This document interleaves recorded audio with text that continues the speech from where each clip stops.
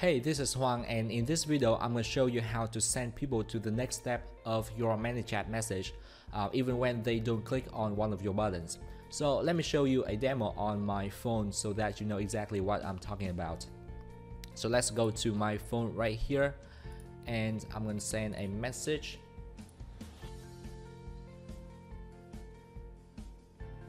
Okay, here it is. Most people will click on this button to go to the um, next message.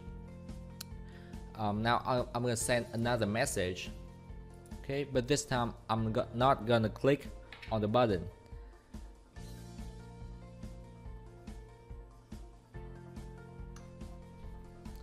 Let's see what happens here.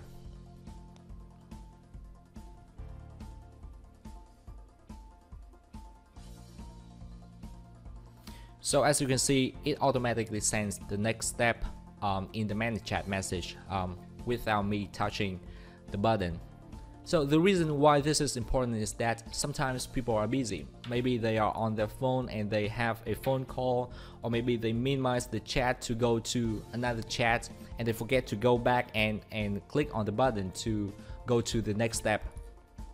So I came up with this because I have this um, client right here who has a big sequence that he want to take people from the beginning to the end where he collect um, their phone numbers and he gave me a flow of messages that he want to send out to people but the problem with his flow of messages is that um, it doesn't have questions like this to keep people interact with the chat and keep them engaged. So he uh, just gave me a flow of messages, uh, just message after message after message.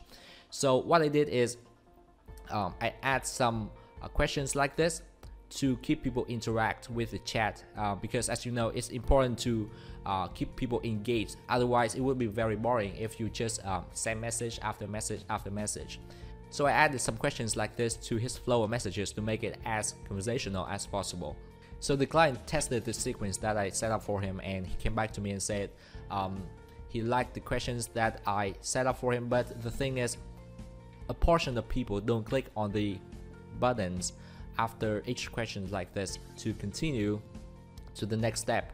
Um, and he said that maybe people are busy, maybe they are in the middle of something, or maybe they're getting a phone call or another chat um, when uh, they are chatting with the bot. And it's important for him to send people to the next step so that they can um, continue to complete this flow of messages and give their phone number at the end. So I spent uh, several hours playing with ManyChat and uh, finally I came up with this solution. So here's how to do it. So basically we are going to use different tags to track um, whether or not a person has clicked a button and we are going to wait for a period of time from a few seconds to a few minutes to see if the person has that tag or not. Okay, so the flow is like this. So the person goes to uh, this message and automatically go to uh, this message. And if he clicks this button he will go to this message. If he doesn't click this button after 15 seconds or after 30 seconds depending on your preference um, this message will still be sent to that uh, person. So we're, we're going to use a tag to track the uh, clicking of this button. Okay so we're going to add a tag okay so I'm gonna use this tag here. So uh, it's important that you uh, use different tags and and number uh, your tags so that you know what um, this tag is for. Okay so how to track it automatically in ManyChat and how to add a wait of uh, 15 seconds. Okay so ManyChat doesn't have a wait action and uh, I think it is very necessary to have a wait action. However I have a hack for this. Okay so ManyChat doesn't have a wait action, but they have a delay action right here. So with the delay action, you can set up to 60 seconds. Here, I'm just uh, gonna set it to 15 seconds. And now with the delay action, the thing is it, it cannot stand alone. So uh, if I leave it alone like this, it won't work. Um, we need to have a message after that. And the message um, cannot be empty as well. So the trick for this is to add a space, add a space, and now it works. okay? So when you add a space like this it's gonna show in ManyChat but when it's live uh, it will send nothing. So a message with a space like this means uh, sending nothing okay? So the flow is like this. So they go to this step and they will continue to wait for uh, 15 seconds. So after 15 seconds we're going to check if they have clicked this button or not so to do that we are going to continue to the next step which is adding a condition. Okay so the condition is very simple. Just check if the tag exists or not. So if the tag is button clicked one. If yes it means that we already sent the next step. So now we don't want to send anything which is a space. If no we want to send this message. You can be creative with this and send a different message. For example um, if they don't click we can send. Seems like you are busy. So you can be creative with this and continue to send whatever you want after this step. Okay so for now I'm just gonna send this uh, message. So what if I have two buttons? Okay so if I have two buttons right here so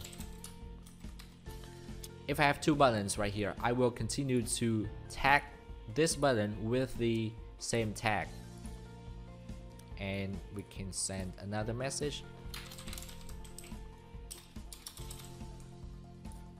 Okay, so this tag is for tracking if the person has clicked one of the buttons in this step.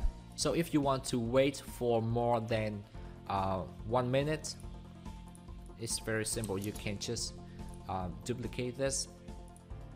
I think we can have up to five delays um, together like this. If you want to wait for 10 minutes, we can add another message and um, we can add another message like this to uh, stack up the delays. So it depends on your preference how much time you want to give the person to click the button. I prefer just setting it to uh, 15 or 30 seconds so a very important thing when setting this up is that you want to reset the tags uh, whenever you need to okay? So you will need to reset the tag at the beginning after the the first step like this. So we're gonna remove the tag right here. So the reason is sometimes people can go through your message um, several times. They can uh, for example if you have a growth tool on your website and people can go to website and uh, opt in uh, several times to for example testing things out or uh, if you want to test this you will need to remove the tag because the first time you go through this and you click on the button um, you tag with this tag and the next time you go through this because you already tagged it, it won't work. So it, it's important to remove the tag whenever you need to. So for example for this client I have used 11 different tags and I remove all of them. I reset all of them uh, after the starting step. And I also um, reset it whenever it is necessary. So I have used uh, 11 different tags and at this step I remove 10 tags okay? So the reason is these buttons don't disappear after people click on them so they can come back and then they can click uh, a different button. So for example if they click this button right here and they go through some of the, the steps they will be tagged with some of the tags here. And they and when they come back and they click one of this button because they are already tagged if we don't remove the tags um, it won't work correctly if, if they if they click on uh, a different button right here. So it's necessary that you remove the tags whenever you need. Okay so button clicked is the first tag. Because this tag is before all the other tags. It's before this step so uh, at this step I don't remove this tag. I just remove all the tags after this step.